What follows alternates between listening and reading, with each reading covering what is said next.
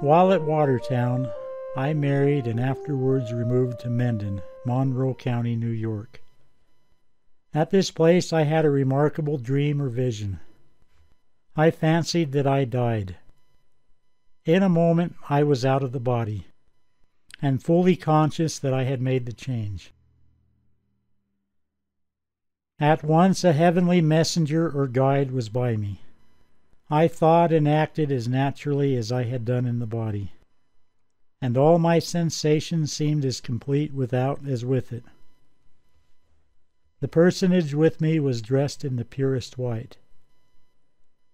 For a short time I remained in the room where my body lay. My sister Fanny, who was living with me when I had this dream, and my wife were weeping bitterly over my death. I sympathized with them deeply in their sorrow and desired to comfort them. I realized that I was under the control of the man who was by me.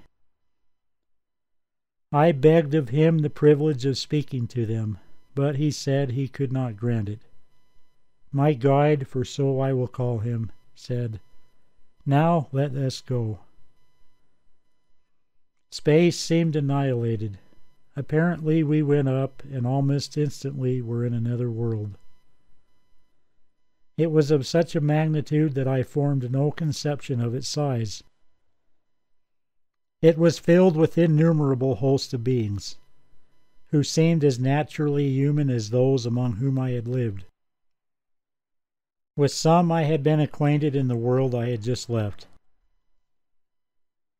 My guide informed me that those I had saw had not yet arrived at their final abiding place. All kinds of people seemed mixed up promiscuously, as they are in this world. Their surroundings and manner indicated that they were in a state of expectation, and awaiting some event of considerable moment to them. As we went on from this place, my guide said, I will now show you the condition of the damned. Pointing with his hand, he said, Look. And I looked down a distance which appeared incomprehensible to me. I gazed on a vast region filled with multitudes of beings. I could see everything with the most minute distinctness. The multitude of people I saw were miserable in the extreme. These, said my guide, are they who have rejected the means of salvation that were placed within their reach, and have brought upon themselves the condemnation you behold. The expression of the countenances of these sufferers was clear and distinct. They indicated extreme remorse, sorrow, and dejection. They appeared conscious that none but themselves were to blame for their forlorn condition. This scene affected me much, and I could not refrain from weeping. Again my guide said, Now let us go. In a moment we were at the gate of a beautiful city. A porter opened it, and we passed in. The city was grand and beautiful beyond anything that I can describe. It was clothed in the purest light, brilliant but not glaring or unpleasant. The people, men and women, in their employments and surroundings, seemed contented and happy. I knew those I met without being told who they were. I saw and spoke with the Apostle Paul. My guide would not permit me to pause much by the way but rather hurried me on through this place to another still higher, but connected with it. It was still more beautiful and glorious than anything I had before seen. To me, its extent and magnificence were incomprehensible. My guide pointed to a mansion which excelled everything else in perfection and beauty. It was clothed with fire and intense light. It appeared a fountain of light, throwing brilliant scintillations of glory all around it, and I could conceive of no limit to which these emanations extended. Said my guide, That is where God resides. He permitted me to enter this glorious city but a short distance. Without speaking, he motioned that we would retrace our steps. We were soon in the adjoining city. There I met my mother and a sister who died when six or seven years old. These I knew at sight without an introduction. After mingling with the pure and happy beings of this place a short time, my guide again said, Let us go. We were soon through the gate by which we had entered the city. My guide then said, Now we will return. I could distinctly see the world from which we had first come. It appeared to be a vast distance below us. To me it looked cloudy, dreary, and dark. I was filled with sad disappointment. I might say horror at the idea of returning there. I supposed I had come to stay in that heavenly place, which I had so long desired to see. Up to this time, the thought had not occurred to me that I would be required to return.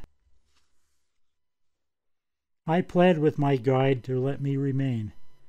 He replied that I was permitted only to visit these heavenly cities, for I had not filled my mission in yonder world. Therefore I must return and take my body.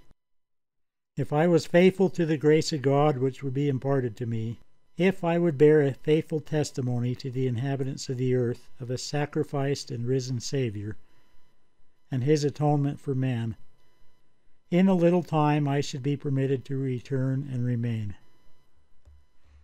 These words gave me comfort and inspired my bosom with the principle of faith. To me, these things were real I felt that a great mission had been given me, and I accepted it in my heart. The responsibility of that mission had rested upon me from that time until now. We returned to my house. There I found my body, and it appeared to me dressed for burial. It was with great reluctance that I took possession of it to resume the ordinary avocations of life, and endeavor to fill the important mission I had received. I awoke and found myself lying in my bed. I lay and meditated the remainder of the night on what had been shown me. Call it a dream or vision or what I may, what I saw was real to every sense of my being as anything I have passed through. The memory of it is clear and distinct with me today, after the lapse of fifty years with its many changes. From that time, although belonging to no church, the Spirit was with me to testify to the sufferings and atonement of the Savior. As I had opportunity, I continually exhorted the people, in public and private, to exercise faith in the Lord Jesus Christ, to repent of their sins and live a life of righteousness and of good works. In the fall of 1828, I returned to Hector, Schuyler County, New York. Quite a number of people lived there of the Campbellite faith. Squire Chase, a prominent man in the neighborhood, who had been a preacher of the sect, said they were cold in religion and had not held any meeting for several months.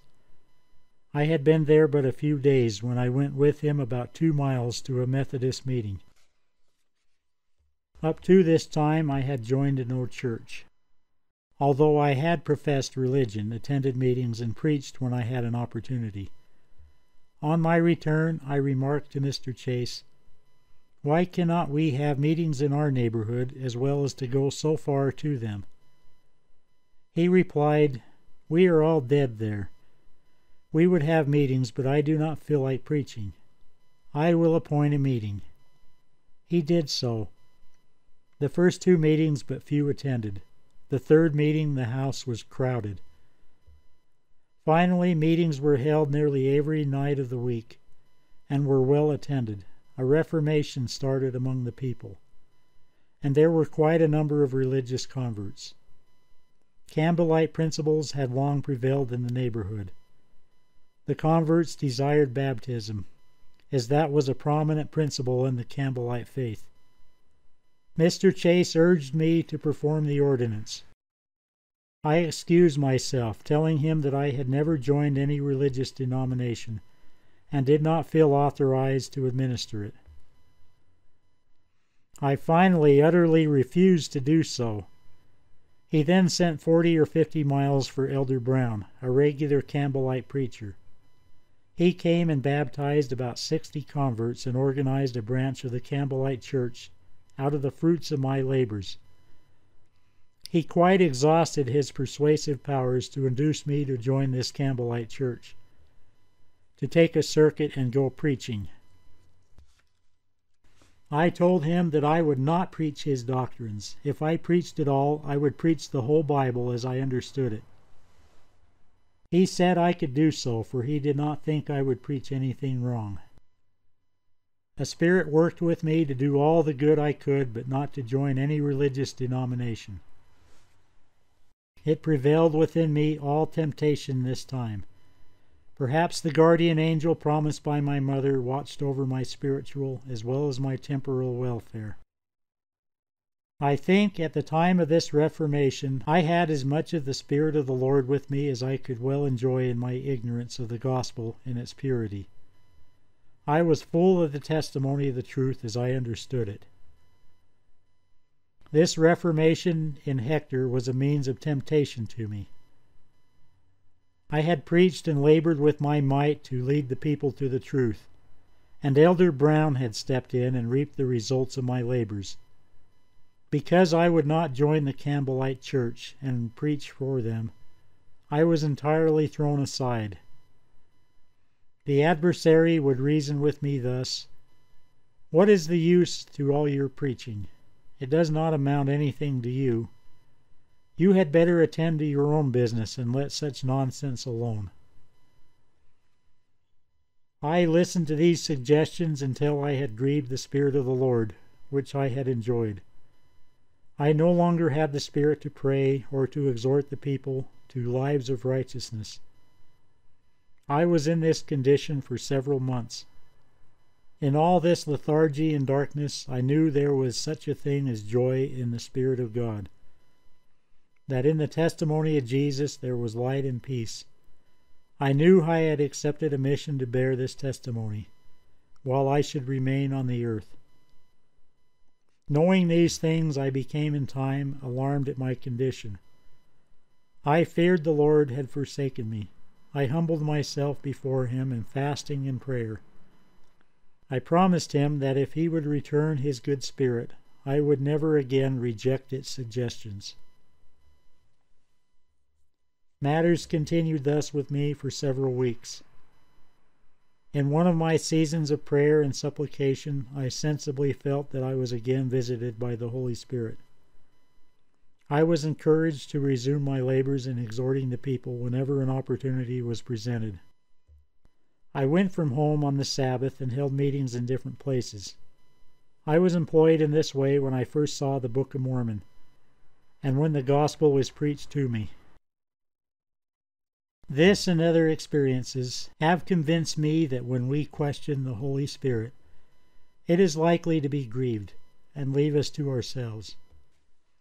Then will our darkness be greater than if we had never enjoyed its influences. Perhaps this incident in my life may suggest wisdom to others. In November 1829, I removed to a place called Hector Hill. In February 1831, my father and brothers Joseph and Brigham and Heber C. Kimball came to my house.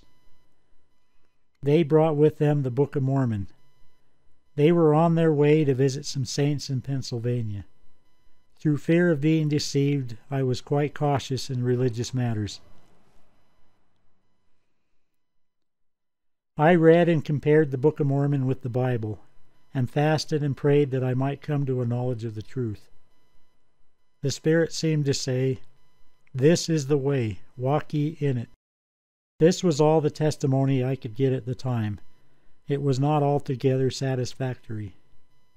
The following May, Elder Levi Gifford came into the neighborhood and desired to preach.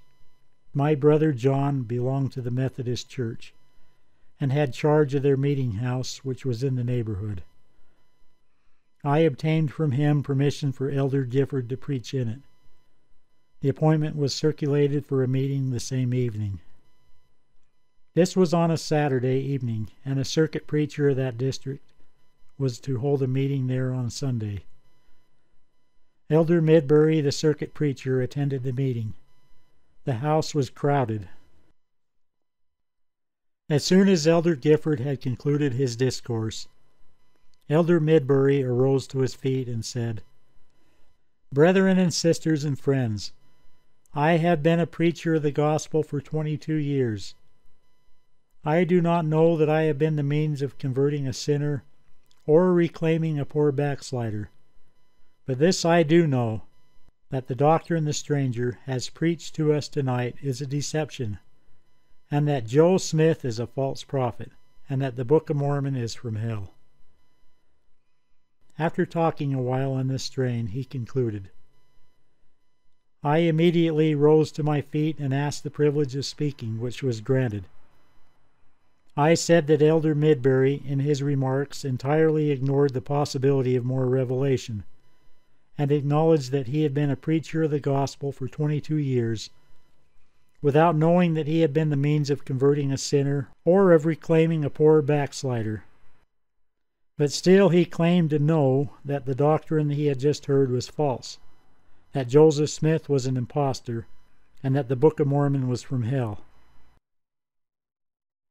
Now, how is it possible, I asked, for him to know these things unless he has received a revelation? When I sat down, a strong man by the name of Thompson, who was well known in the neighborhood as a belligerent character, stepped up to Elder Gifford and demanded proofs of the authenticity of the Book of Mormon. Elder Gifford replied, I have said all I care about saying tonight. Then said Mr. Thompson, We will take the privilege of clothing you with a coat of tar and feathers, and riding you out of town on a rail. In the meantime, four or five others of like character came to the front acting under the impulse of the moment, true to the instincts of my nature to protect the weak against the strong. I stepped between Elder Gifford and Mr. Thompson. Looking the latter in the eye, I said, Mr. Thompson, you cannot lay your hand on this stranger to harm a hair of his head, without you do it over my dead body. He replied by mere threats of violence which brought my brother John to his feet. With a voice and a manner that carried with it a power greater than I had ever seen manifested in him before, and I might say since, he commanded Mr. Thompson and party to take their seats. He continued, Gentlemen, if you lay a hand on Mr. Gifford, you shall pass through my hands after which I think you will not want any more tonight. Mr. Thompson and party quieted down and then took their seats. Since then, the elders have passed through so many similar experiences that they have ceased to be a novelty. That there should be such a powerful antagonism of spirits manifesting themselves in muscle in a Christian church indicated a new era in religious influences. In the spring of 1831, there was two days of meetings of the saints, about six miles from where I lived in the state of Pennsylvania. I attended it and became fully convinced of the divine origin of the latter day work.